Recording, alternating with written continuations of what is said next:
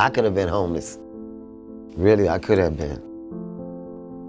We all need to help one another, you know, because uh, anybody can become homeless. Some people are one paycheck away.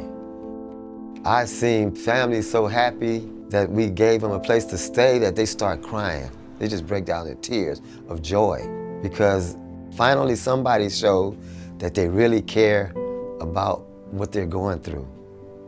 Most of the families we work with, this is their first time experiencing homelessness.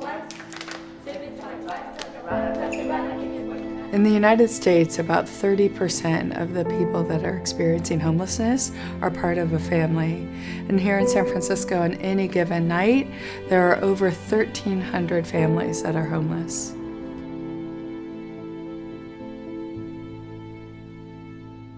Hamilton Families provides a continuum of programs and services for families here in San Francisco.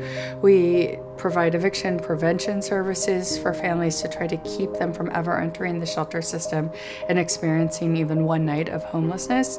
We have shelter programs that provide temporary housing for families that are in crisis and we have a housing solutions program that helps rapidly rehouse families to get them quickly into permanent housing.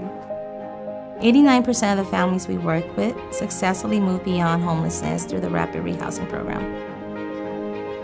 Over 90% of those families remain in their new home. We have trusted partnerships with landlords in the community and the knowledge, skills, and tools to solve this problem.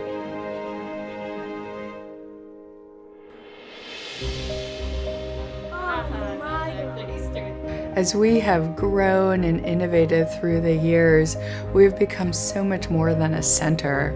Today, Hamilton Families is quite literally the solution to the problem of family homelessness in our city.